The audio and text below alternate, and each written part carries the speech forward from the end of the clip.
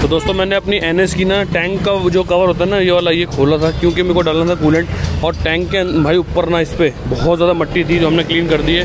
तो कभी भी भाई याद रखना कि इसको ना कम से कम साल से, साल छः महीने में ज़रूर साफ़ करा करो, वरना मट्टी बैठेगी ऐसी जगहों पर और ना आपकी टंकी जंग जंग खाकर गल सकती है। तो इसलिए भाई साफ़ सफ़ाई बहुत ज़रूरी है। फ़िलहाल जो इसमें कूलेंट डाला है मैंने कैस्ट्रोल का डाला है मैंने कूलेंट इसके अंदर, यहाँ से खोल के ये वाले से नहीं डलेगा, इससे डलेगा। ठीक है दोस्तों, ये खोल के पूरा भर दिया देख सकते हैं आप।